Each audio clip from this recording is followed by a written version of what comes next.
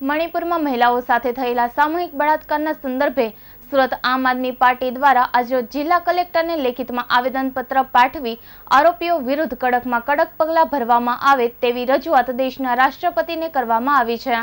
મણિપુરમાં મહિલાઓ સાથે બનેલી હિચકારી ઘટનાએ સૌ કોઈને સ્તબ્ધ કરી દીધા છે. આ ઘટનામાં આરોપીઓને કડકથી કડક સજા થાય તે માટેની માંગ દેશભરમાંથી ઉઠી રહી છે.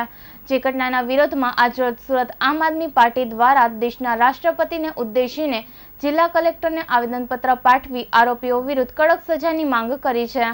સુરત આમ આદમી પાર્ટીના પ્રદેશ નેતા રામ ધડુકે જણાવ્યું હતું કે મણિપુરમાં મહિલાઓ સાથે થયેલા સામૂહિક બળાત્કારના પાસવી કૃત્ય બાબતે કડકમાં કડક પગલાં લેવામાં આવે. સમાજમાં આવા નરાધમોમાં એક દાખલો બેસે તે પ્રકારની કાર્યવાહી કરવામાં આવે. દેશમાં શાંતિ સ્થાપવાના નિષ્ફળ ગયેલી રાજ્ય અને કેન્દ્ર સરકારને પદભ્રષ્ટ કરવામાં આવે.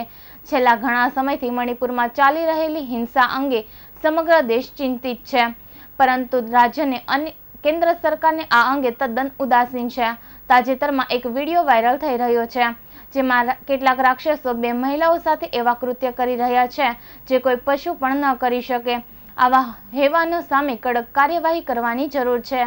દેશના સર્વોચ્ચ પદ ઉપર એક મહિલા બિરાજમાન હોય અને છતાંય દેશના એક ભાગમાં મહિલાઓ સાથે આ પ્રકારનું કૃત્ય આચરવામાં આવે તે કેવી રીતે થઈ શકે? જેથી રાષ્ટ્રપતિ આ ઘટનામાં કડકમાં કડક પગલાં લઈ સમાજમાં આવા નરાધમોની અંદર એક દાખલો બેસે તેમજ સમાજમાં શાંતિ જળવાઈ રહે તે પ્રકારની કાર્યવાહી કરવી જરૂરી છે.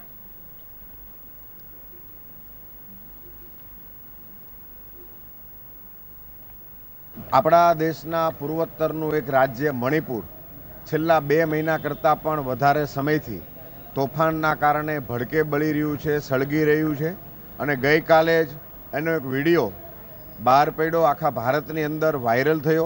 આ વિડીયાની અંદર આપણા જ દેશની એક બહેન, એની સાથે જઘન્ય રાક્ષસી અમાનવીય જે કૃત્ય કરવામાં આવ્યું છે, આ કૃત્ય કોઈ પણ સંજોગે આપણે ચલાવી લેવું જોઈએ નહીં.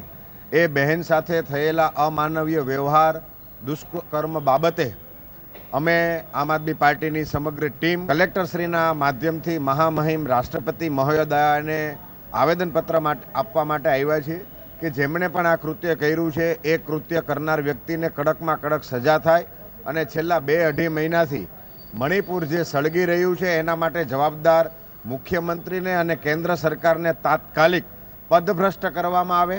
બે અઢી મહિનાથી આ ઘટનાઓ સામે આવી રહી છે. એવું પણ જાણવા મળ્યું છે કે ગઈકાલે જે વીડિયો વાયરલ થયો છે, આ વીડિયો હમણાં તાજે તાજો નથી, પણ બે મહિના પહેલાંનો છે.